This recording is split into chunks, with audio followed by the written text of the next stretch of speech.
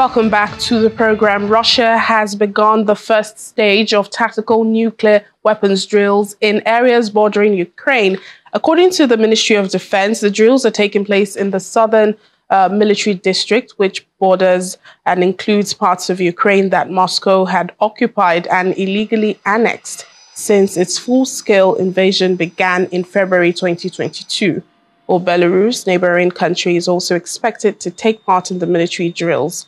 The exercises involve Iskander and Kinzhal hypersonic missiles, and they're to ensure that units and equipment are ready for the combat use of non-strategic wep nuclear weapons and to respond to threats from Western allies.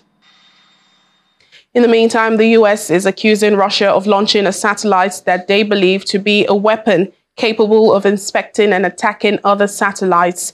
A Soyuz rocket blasted off from Russia's Plesetsk launch site about 800 kilometers north of Moscow, deploying in low Earth orbit at least nine satellites, including Cosmos 2576. Now, Cosmos 2576 is a type of Russian military inspector spacecraft. US officials have long condemned as exhibiting reckless space behavior.